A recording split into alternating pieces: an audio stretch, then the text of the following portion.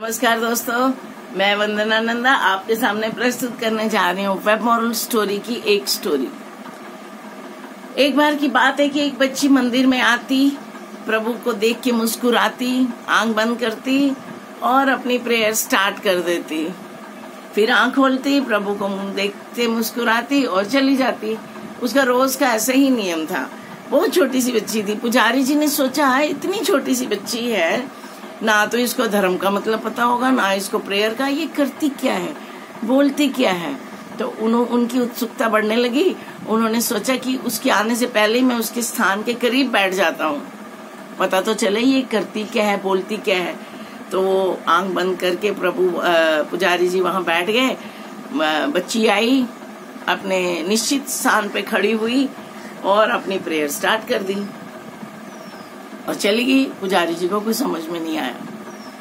अब उन्होंने, उनसे रहा नहीं गया। अब उन्होंने अगले दिन बच्ची आई तो उसको पूछा कि, बच्चे, आप क्या बोलते हो? बच्ची बोली, मैं तो प्रेयर करती हूँ। उन्होंने बोला, आपको प्रेयर आती है? बोली, नहीं, मुझे कुछ नहीं आता। तो फिर आप तो बहुत देर कुछ बोलते हो, प्रेयर करते हो। हाँ मुझे एबीसी आती है ना। मुझे ए टू जेड आता है। और मैं ए टू जेड भगवान को पाँच बार सुनाती हूँ। और भगवान को कहती हूँ कि सारे शब्द तो इसी के अंदर ही होंगे ना। अपने आप अपनी प्रार्थना अरेंज कर लो। मैं तो अब, मुझे जो आता मैं तो आपको सुना के चली। और प्रभु मुस्कुराते हैं और मेरी प्रार्थना स्वीकार कर लेते हैं।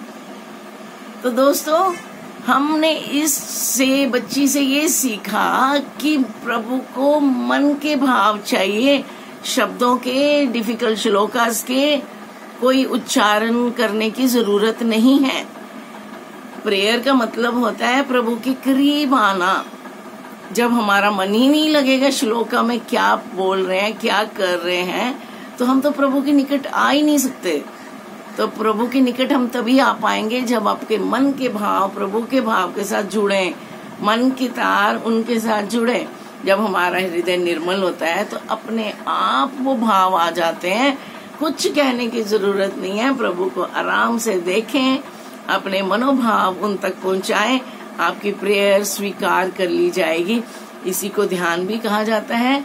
और ये बहुत यूनिक प्रेयर है। अद्वितीय प्रेयर है। अपना के देखिए, मन शांत और निर्मल हो जाएगा। नमस्कार। जय हिंद।